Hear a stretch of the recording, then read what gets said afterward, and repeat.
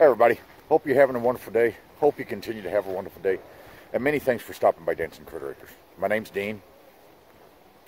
Okay, I just recently posted a video and it was to be, I put at the end, to be continued, which is something, I don't know. Uh, if I'm going to do a part of things, I will say that it's going to be part one of multiple videos.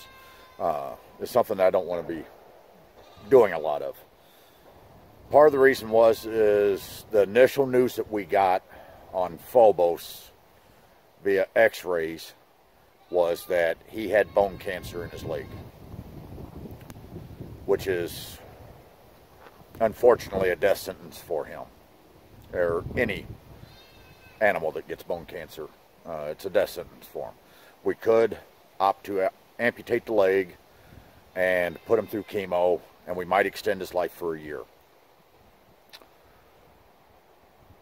They also said that there was the possibility that it was blasto, or the medical term is blastomycosis, I believe is how it's pronounced. Mycosis, or anyhow, I'll put the name of the full medical term in there. We had them take a urine sample, which is the best way for them to determine if the animal has it, and it came back positive. Uh, the levels were very low. Usually it doesn't show up in the bone unless it's already in the lungs bad and it transfers to bone. So there is a glimmer of hope that what showed up in the x-ray is actually blasto. So trying to keep the he's looking a little better. He's still not 100%. Hi, Dimos. His tail's wagging. The swelling in his ankle has gone down some, but not as much as I would think with an anti-inflammatory pain medicine would. Which kind of leads me towards that maybe it is the blasto. Not going to fully say that that's what it is. We'll know more in a couple weeks after he's on the medicine for the blasto treatment. Uh, it can take up to six months to take care of blasto. What blasto is, is a fungal infection that gets into the lungs usually. It's inhaled, uh, comes from decaying matter, such as hay, you know, leaves, grass clippings, so forth. Certain areas in the country are notorious for it. Others aren't so prominent for it. High moisture level years have a tendency to increase the likelihood of blast blasto coming up. Uh, storm damage releases the spores of blasto into the air and they can get inhaled. Humans can get blasto also. Uh, in fact, I know a couple of people that, well, I know one for sure that had it many years ago when he was working construction and they were digging footings in. Uh, they found a pocket of blasto and didn't know it. And all of a sudden he ended up with a really bad chest cold. And couldn't shake it, couldn't shake it, couldn't shake it. And they ran tests and found out that he had blasto and was able to treat and get it. Uh, with dogs, as a rule of thumb, by the time they start showing signs of blasto in their chest or in their lungs, uh, it's almost a death sentence. Uh, the treatment for it is a long, grueling treatment, and the majority of the animals they recover from it, but there is long-term damage that has been done.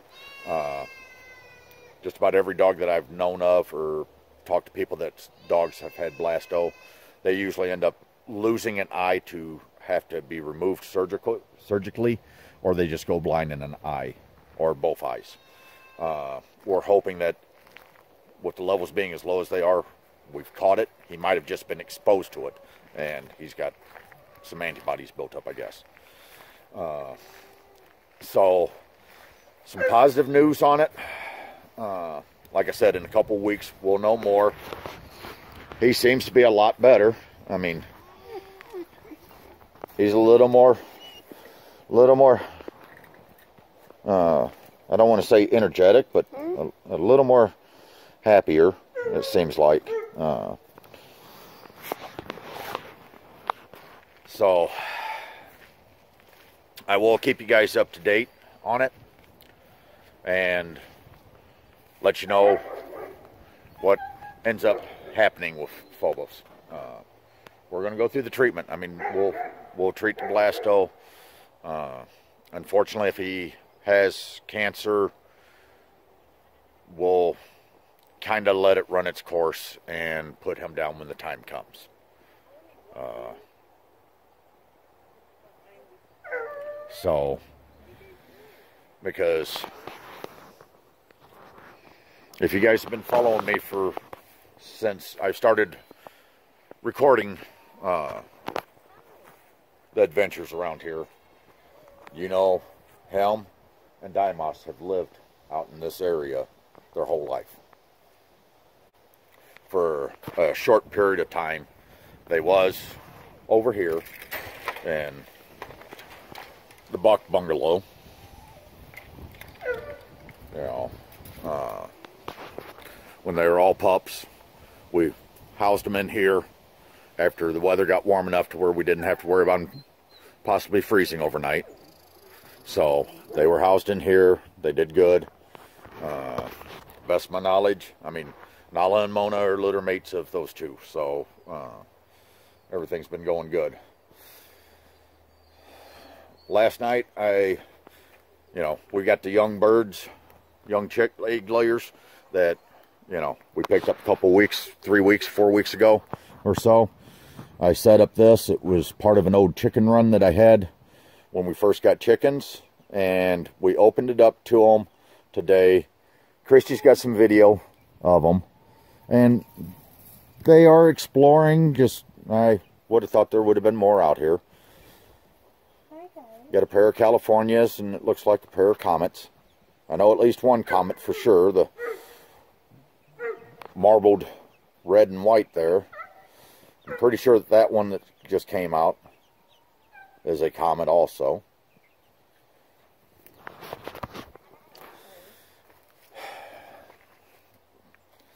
Well, that's... Come on, Aries. Come on, Athena.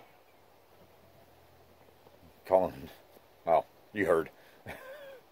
Aries, come here, my boy. Come on, buddy. You do. It's very, very slight. You want to see the new chickens, Athena? Come on, you don't even care. Look at the new birds. Yeah, you don't care. You don't care.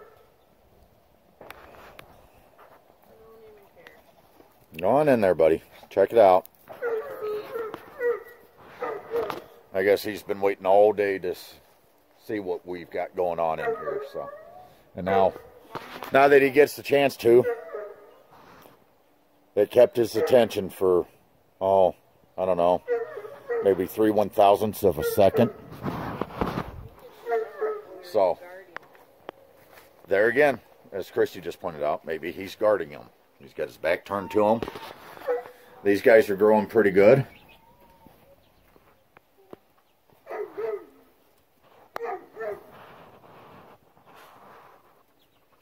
Bigger birds we're going to uh, introduce to the other ones. Uh, I'm thinking that I'm going to set up a barrier area to uh, kind of ease them in, let them, let both groups get kind of used to each other, and hope that Go in and look at them when I'm not looking. the older birds don't beat up the younger birds. And we'll let these guys start kind of socializing with them too. Uh, so, guys, other than that, uh, like I said, super good. Well, it, it's it's a super great spark of hope with Phobos. I mean, he wasn't really doing much of that since Sunday. I mean, he did kind of jump up, but I mean, it was half-heartedly. So.